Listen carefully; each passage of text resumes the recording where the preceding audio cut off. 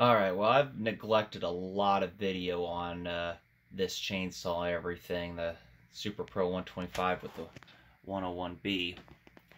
And I guess I'll do a quick rundown on it. I mean, I've gotten a little lazy, but I've had lots, I've not had much time to really make a video on it, just little bits and stuff here. So I'm not sure where we left off on the last one, but we're getting there.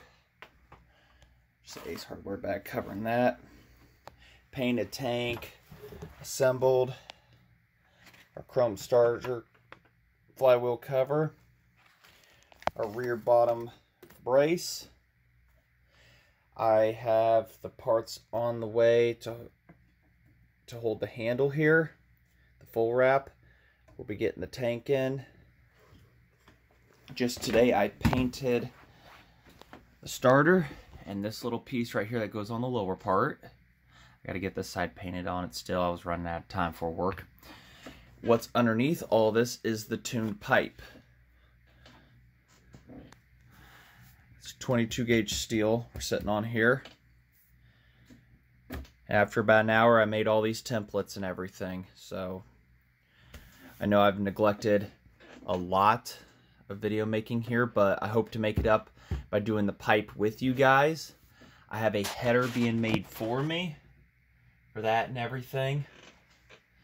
So I apologize. Any questions, feel free to ask.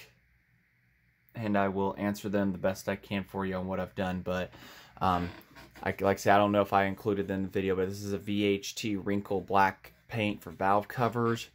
Regal red on with the clear coat on all that.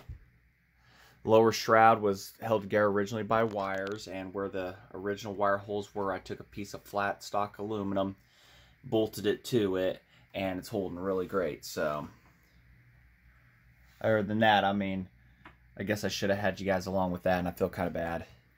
Just let you know on that. So, hopefully, like I say, we'll be putting this pipe together and everything, but I got to get the header first. After we do that, we should be on the roll. Dirty 44 still down there.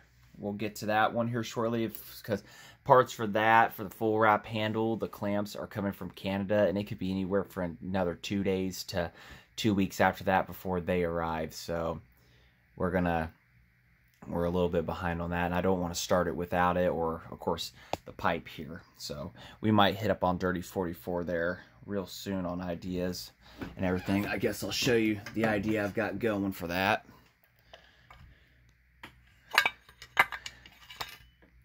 That front hole right there, we'll be cutting this out.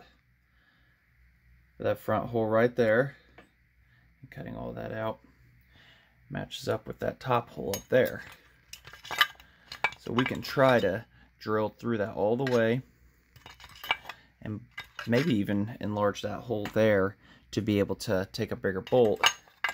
I'm going to try to bolt this flat down and cut out anything in our way so that we can mount our uh, carburetor to it and everything. So that's Dirty 44. It's kind of one thing there. The tank has kind of slowed me down a little bit. But other than that, uh, it's pretty much an update on the racing saws here. And like I say, sorry again for a little neglect there, but we're going to get right back onto these here very shortly and get you guys more involved. It's just been a hectic few weeks of family stuff and everything going on, so any of my friends know I've told some of them and everything and they understand. So but throttle's all hooked up on this and everything, oiler. It's all there, so other than that, like I say, don't lose faith in me, guys. I'm still here, still going. You could, like say, I update more on this racing saw if you're on Facebook in a group called Modified Chainsaws. You'll see me a lot in there. I update weekly with this, also in uh, McCulloch Chainsaws North America. That's weekly, and any little stuff I do is in Modified for that one. So that's where you will find me and everything and most updates. But hopefully we get a video going here for everybody to watch when we get to this pipe, cutting it out and everything and whatnot. So I got to make a little revision up here and make one of those longer.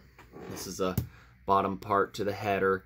This one needs to go from 4 to 8 inches from what I'm told, or not everything there is an old McCulloch style one.